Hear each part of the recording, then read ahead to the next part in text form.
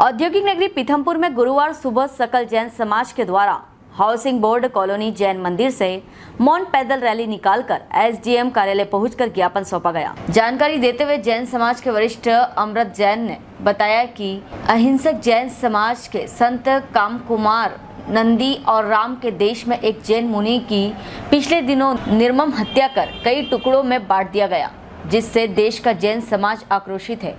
अहिंसक समाज को झकझोर कर रख दिया है। जैन समाज ने मुनि श्री काम कुमार नंदी महाराज की कर्नाटक में की गई निर्मम हत्या के विरोध में आज जैन समाज ने स्थानीय जैन मंदिर से मौन रैली निकाली है, जो शहर के प्रमुख मार्गों से होती हुई अनुविभागीय कार्यालय पर पहुँची व एसडीएम को ज्ञापन सौंपा गया। पीथमपुर से संजय सोनगरा की रिपोर्ट। इस प्रकार से हम पूरे भारतवर्ष में जैन समाज जो एक अहिंसक की पहचान है विगत दिनों में कर्नाटक में हमारे मुनि श्री के साथ जो निर्मम हत्या उनकी की गई और टुकड़े टुकड़े में उनका शव किया गया।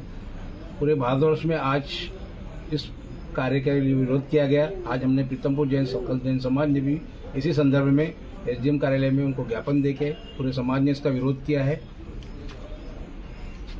आगे भी ऐसी कोई घटना ना हो इसका हम सरकार को आगाह करते हैं और हम अहिंसक के पुजारी जैन समाज। नाम ललित जैन। प्रीतमपुर जैन समाज एक तपोभूमि है, भारत देश ऋषि मुनियों की भूमि है। भारत में 24 तीर्थंकर और 24 अवतार भगवान ने जन्म लिया है।